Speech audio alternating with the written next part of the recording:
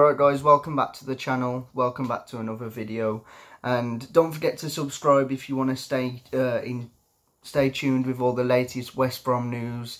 Obviously, West Brom's hunt for a manager continues up into the international break. Um, we sacked Darren Moore a few weeks ago now, and we still haven't really managed to get a replacement for him. Uh, Jimmy Shan's um, in charge for the last three uh, two games. Sorry, um, Swansea at home where we managed to win three 0 and that 1 0 away win at Brentford.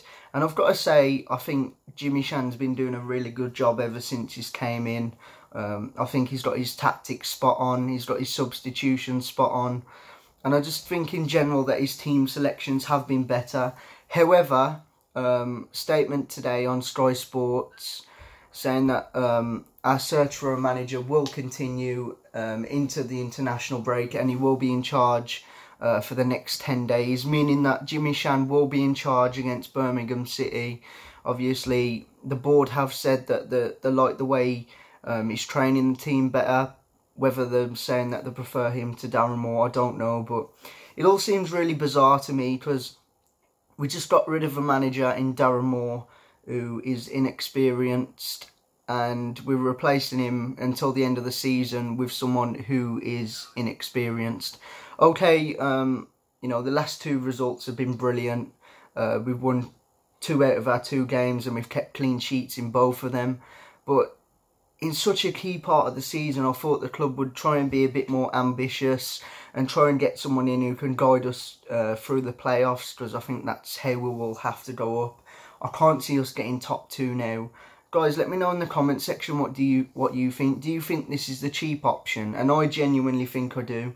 Uh, think it is, sorry. I think the club are trying to get to the Premier League as cheap as possible. Which is fair enough, but this is an absolute massive gamble. Rather than get someone in who is experienced at doing that, i.e.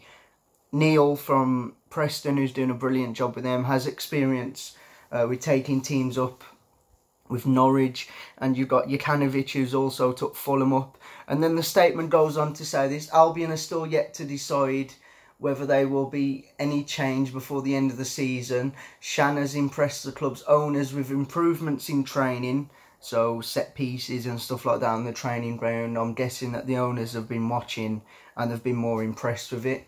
Um, team selection, i.e., not playing Dwight Gayle on the wing, um, which I still think he has, to be honest, though. And putting players like Brunton and Morrison, who've actually done quite decently, to be honest. And they're very impressed with his performances in in his last two games, which has led to six points and two clean sheets. Which is fair enough, you know, like, he's, he's come in, he's, he's changed the way the team's playing. We're not playing out from the back anymore. Um, we've won two out of our two last two games, and we've got two clean sheets. But is Jimmy Shan the answer? I'm not too sure, guys. Let me know in the comment section what you think. Um, like I say, if we are going to keep him, then I desperately think we need to bring a coach in. I.e., I've saw a lot of names like Craig Shakespeare, Michael Appleton, and even Steven Reid, the former player who used to play for us.